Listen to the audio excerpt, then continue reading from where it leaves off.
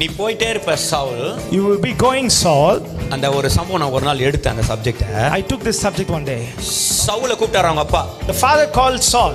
ஒரு வேலை கொடுத்தாரு He gave him a job. என் கழுதைகளை காணும் போய் க- தேடி கண்டுபிடி I lost my donkeys. You have to go in search of my donkeys and bring them back.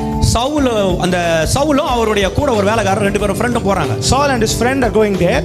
போகும்போது On the way, தேடி தேடி பார்த்தாங்க they searched everywhere. ஃபைவ் கண்ட்ரீஸ்ல தேடினாங்க They searched in five countries. The Bible அஞ்சு. தேசத்துல தேடினாலும் கழுதை கிடைக்கல They searched in five countries. They didn't uh, get them. அப்போ சவுல் சொல்றாரு எப்பா எப்பா நம்ம அப்பாவுக்கு ஒரு கவலை வந்துட்டு இருக்கோம் கழுதைய காணோம்னு கவலைப்பட்ட அப்பா இப்போ நம்மள காணோம்னு கவலை கவலைப்படுவாரு திரும்பி போயிடலான்னு Then Saul says, "My fa- our father will be worried about us now. Let us go back."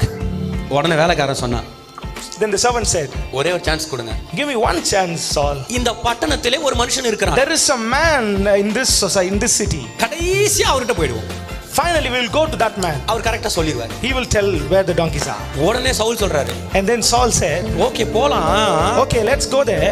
ஆனா ஊழியக்காரன் பார்த்தா காணிக்க கொடுக்கணுமே But if I see the man of God, I have to give some offering. கொண்டு வந்த பணம் எல்லாம் செலவாயிருச்சு All the money is spent. அதனால போ வேணாம் So uh, let us go back. We don't உடனே have to அந்த go there." சர்வெண்ட் சொல்றாரு the servant says, இல்ல இல்ல என்கிட்ட கால் ஷெக்கல் பணம் இருக்கு I have a quarter.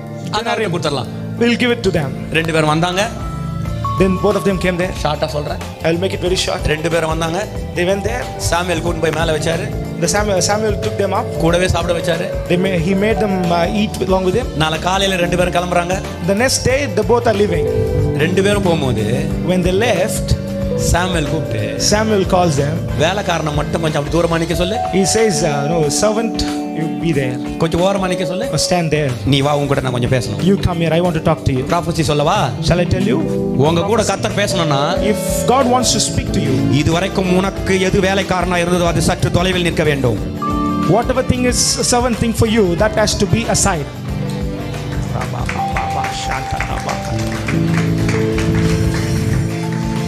see.